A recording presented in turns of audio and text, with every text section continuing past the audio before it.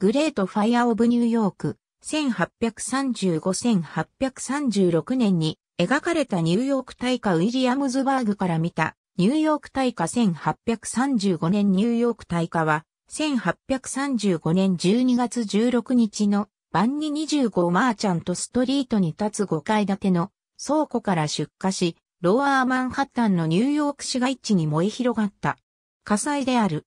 強風が北西からイースト川に向かって吹きつけていたことから、川の地点で火事の拡大はせき止められた。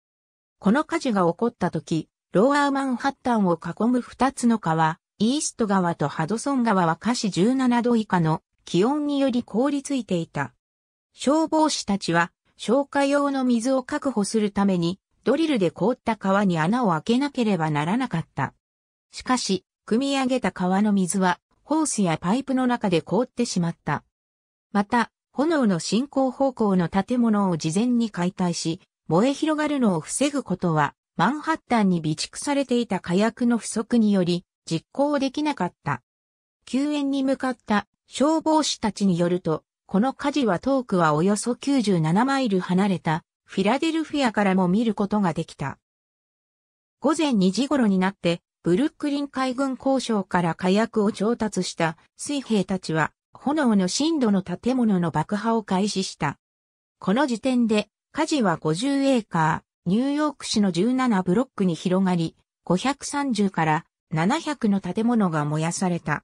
火事の範囲はコエンティーズスリップの周辺、南東をイースト側、北をメーデンレーン、西をウィリアムストリートに囲まれたあたりのエリアであった。この火災による損失は当時の金額で2000万ドルと推定されており、二人が死亡した。ニューヨーク市の歴史に関する出版によると、次のように記されている。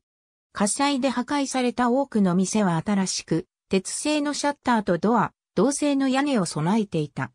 それらが燃え落ちるのを見た人たちは、フル稼働している巨大な鉄のかまどのように見えたと語っている。この時の熱は銅の屋根を溶かし、その液体が大きな滴りとなって流れ落ちていた。強風がイースト川に向かって吹いていた。壁という壁は倒壊し、雪崩の音が響いていた。通り沿いのすべての建物から炎の先端が屋根や窓から飛び出て揺らめいていた。川の水面には炎が反射し、巨大な血の海のように見えていた。ベルの音が鳴り、その後消えた。パールストリートとハノーバーストリートの両側は同時に炎によって囲まれた。損害に関する別の報告によると、最も凄惨な火災がニューヨークにおいて12月15日に起こった。これによって市の最も価値のある地区を含む600の建物が倒壊し、取引所や郵便局、そして数々の店が完全に破壊された。この火災は15時間以上燃え続けた。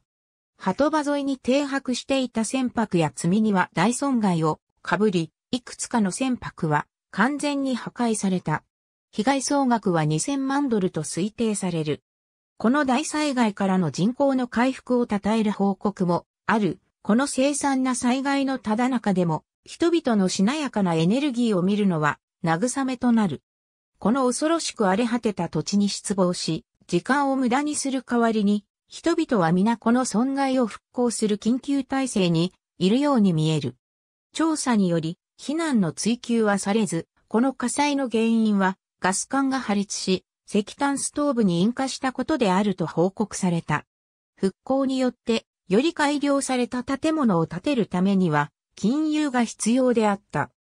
交渉が迅速に取り行われ、銀行の協調によって、経済的な惨事が起こることを決定的に防止した、より近代的な再建計画及びそのための借り入れの方法、確実な担保が手配された。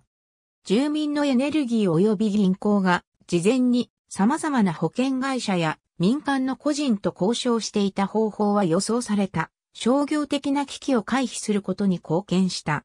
この火災による主な問題の一つは、いくつかの保険会社が破壊され続いて倒産したことである。この火災で損害を被った資産の所有者たちがどのように保証請求をするかということが論点となった。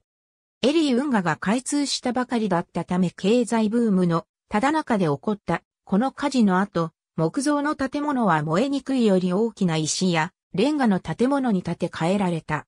また、この火災によって新しい市の給水システム、旧クロトン水道の整備と消防組織の改革と拡張が行われた。この火災で建物を失った保険会社は建て替えるよりもコネチカット州ハートフォードに運営拠点を移した。現在でもハートフォードは世界の保険業界の首都として知られている。ありがとうございます。